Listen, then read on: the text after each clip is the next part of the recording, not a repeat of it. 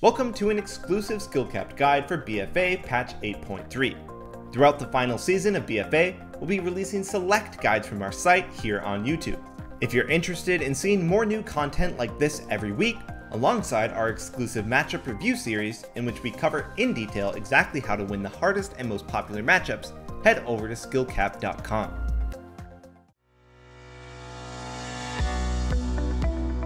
Hey guys, ABX here and welcome to another guide. In today's video, we're going to be looking at Holy Paladin for patch 8.3 Arena. For those of you who don't know me, I'm a multi-rank 1 Holy Paladin, consistently playing at the top of the ladder for many years now.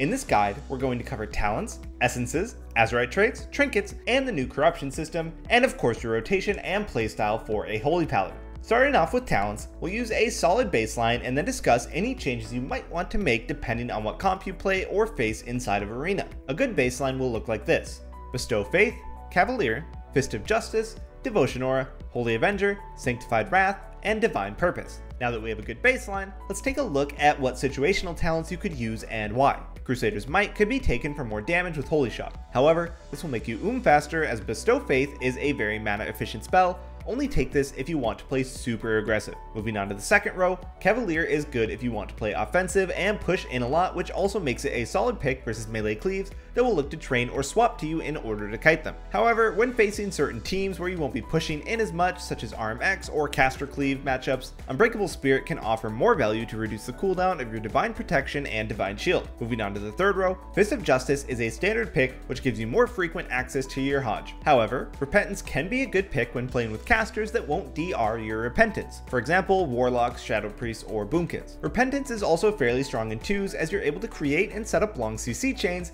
with this while bursting the other target down. This is usually used on the enemy healer to create deadly setups. Blinding Light, on the other hand, is an alternative pick that can be good when playing with a melee cleave or when playing setup compositions such as RM Pala or Ret Rogue H Pala, since these compositions generally have a lot of stuns already. The last adaptation to your talent that you might want to consider is on the level 90 row. Avenging Crusader is a good alternative pick that lets you do healing while doing damage. However, keep in mind that overall this provides both less HPS and less damage than Sanctified Wrath, while also costing 10k mana whenever it's used. The only time this is useful is when playing with the Vision of Perfection Major Essence, which will then have a chance of proccing Avenging Crusader, allowing for more AoE healing without spending any mana. This could prove useful in long dampening games versus Dot Cleaves. Moving on to PvP talents, there's one PvP talent that you never want to play without. This is of course Light's Grace. This not only buffs the healing on your Holy Light, but also leaves a 5% damage reduction on the target healed by Holy Light, stacking up to 3 times. Trust me,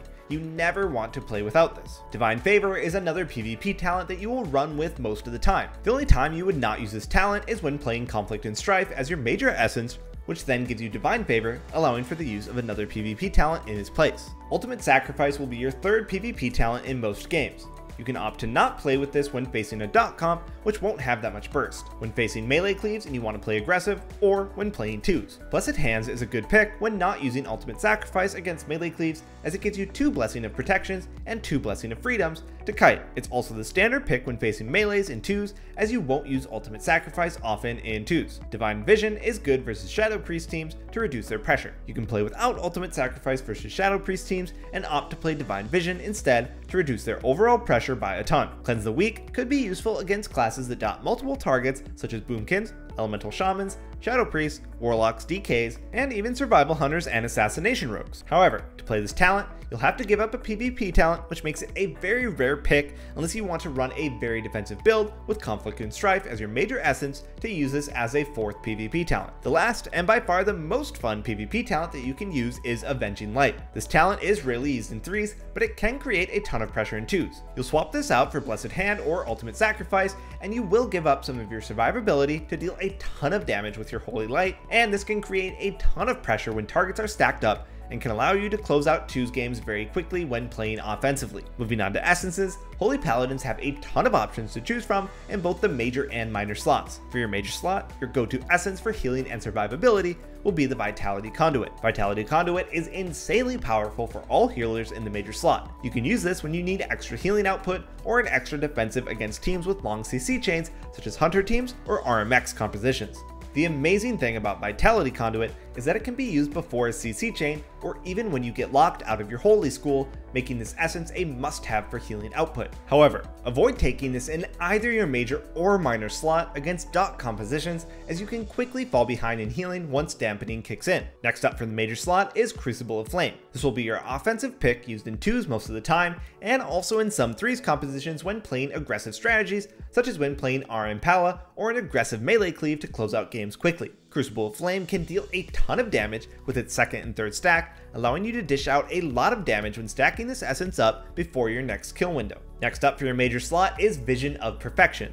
This will give you the best HPS output in PvE, and the same rule applies in PvP. However, this talent is RNG based, which reduces its value in PvP. You could opt to run this when you don't need Vitality Conduit in your major slot and don't want to play offensive with Crucible Flame. Vision of Perfection in your major slot is really good when playing with Avenging Crusader though. The only time that you want to do this is when facing a dot cleave and you expect the game to be extremely long. This will allow for some AoE healing with Avenging Crusader without spending any mana. Our last option for the major slot is Conflict and Strife. This can be picked for the extra versatility when stunned and also gives you Divine Favor, allowing you to pick up another PvP talent. Honestly, you won't use this all too often as the Crucible of Flame and Vitality Conduit simply offer more value. The only time that you might want to consider Conflict and Strife is when you know that you'll be getting swapped too frequently and can't get any value out of Vitality Conduit or when looking to free up a PvP talent. Okay, moving on to the minor essences, there are two that you never want to run without. These are Vision of Perfection and Conflict and Strife.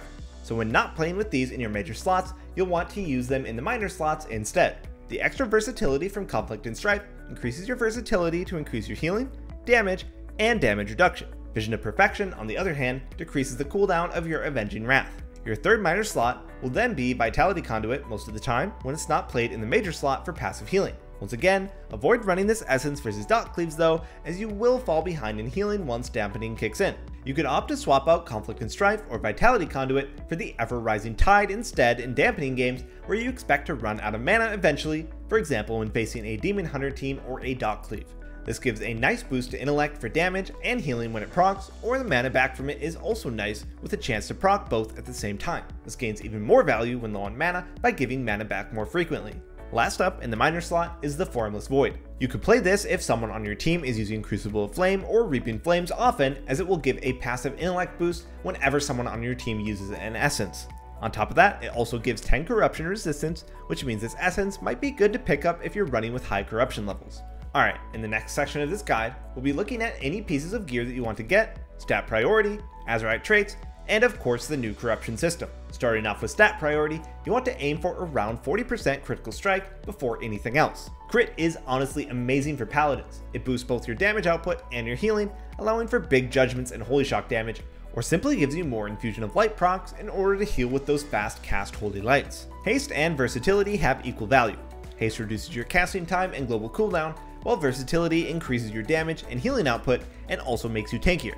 Mastery should always be avoided in PvP. For your Azerite traits, you want to aim to get 3 Indomitable Justice, 2 Glimmer of Light, and 1 Light's Decree. Indomitable Justice increases damage output of Judgment, allowing for big judgments to finish a target or create pressure for your team. Glimmer of Light provides a hot or dot, depending on how Holy Shock is used. Glimmer of Light provides some extra HPS or damage, can also be used to keep healers in combat from far away. However, keep in mind that this can also break CC. Light's Decree is a ret trait that is picked up since it increases the uptime of your Avenging Wrath by 5 seconds. This however cannot be stacked, which is why you're only running with one. To use this trait, you'll have to spec ret and pick it up before swapping back to Holy. Most minor traits are not noteworthy apart from having one Gallant Steed to reduce the cooldown of your Divine Steed. Moving on to trinkets, there are two which outshine most other trinkets by far.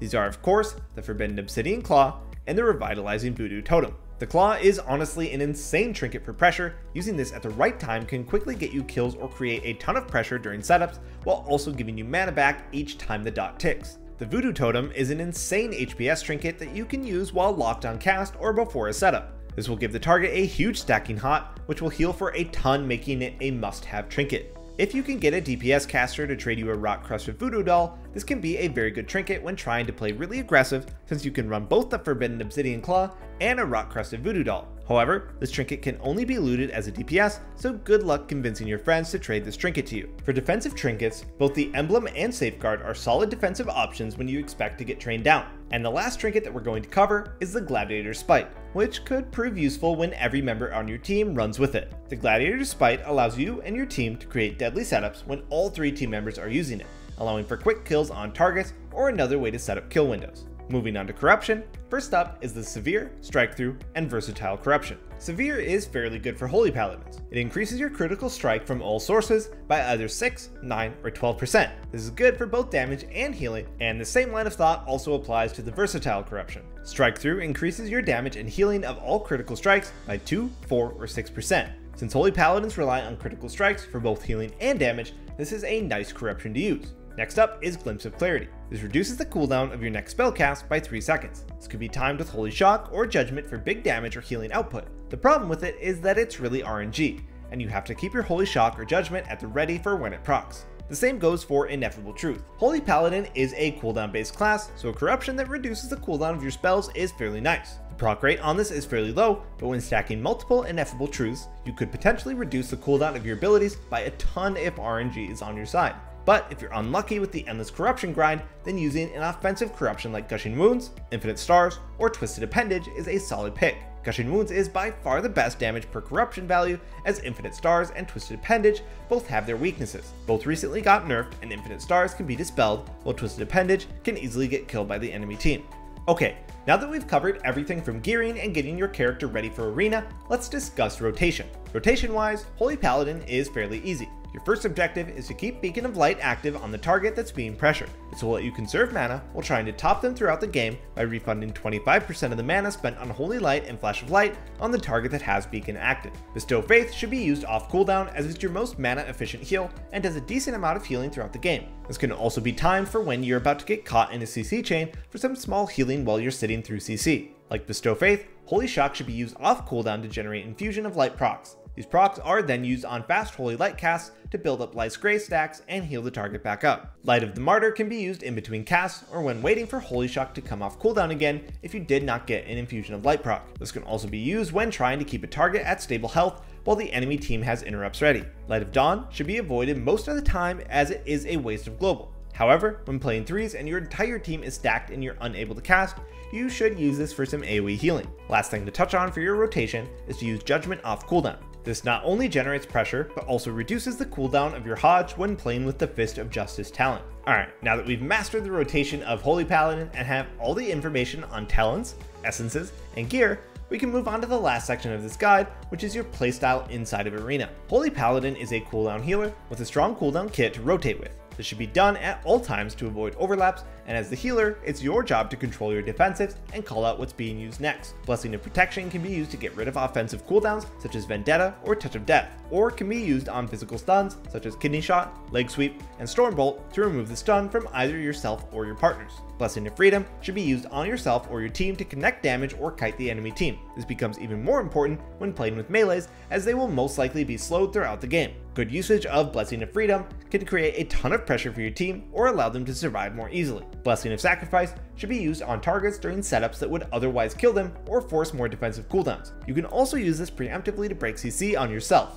Be careful though, as the damage dot from Ultimate Sacrifice could easily kill you. After using Blessing of Sacrifice, try to play defensive until the dot wears off. Avenging Wrath is both a defensive and offensive cooldown. This can be used to quickly top your team or to play aggressive during setups. Always make the most out of this cooldown as it's up for a long time and you can use it to create offensive pressure after topping your team. Okay, so Holy Paladins can dish out a ton of damage which allows them to play very aggressive compositions such as RM Paladin. During your setups, assist your team with Judgment and Holy Shock damage along with any trinkets or even your Crucible of Flame as you can easily force a ton of cooldowns with this or even score a kill yourself. During your setups, you'll be pushing in looking to land CC with your team. Hammer of Justice can be used often when playing offensive since you will be using Judgment off cooldown for damage. This means that you can use your stun more often to set up CC chains or extend them when playing with Fist of Justice talent. However, certain compositions allow you to only play aggressively for a short period of time. Compositions like RMX, MLD, most caster cleaves, or even some hunter compositions can punish your positioning very quickly by overwhelming you with crowd control or even swapping you. For this reason, you'll spend the majority of the game at a pillar versus heavy CC compositions, avoiding CC and damage. Remember that you're a healer even though you can dish out a ton of damage. Bad positioning will quickly lose you the game as a holy paladin since you're very vulnerable to crowd control. Once your team is able to stop crowd control on you, or they can lock down the enemy team with stuns, you can push in and assist your team with crowd control and close out the game, or force cooldowns and retreat to the pillar once again. Paladin has a strong cooldown kit, but gets punished very quickly. Have good positioning at all times, or you could end up throwing your games. You have no hots, shields, or cooldowns apart from Blessing of Sacrifice to help you out when a CC chain is about to land, so you always need to communicate with your team before pushing in for both damage and CC. Last thing to touch on is fake casting. Just like positioning, Paladin gets punished easily by interrupts more than any other healer. You have no hots, shields, or damage reduction outside of Light's Grace, and you only have one school of magic. So getting kicked means that you can't use a single spell. Getting kicked often can quickly result in you losing the game, so practice fake casting a ton. Alright, that brings this Holy Paladin 8.3 guide to an end. Hopefully this helped you out, and as always, be sure to plus skill this guide if you enjoyed it, and don't be afraid to leave any questions or comments down below. Thanks for watching.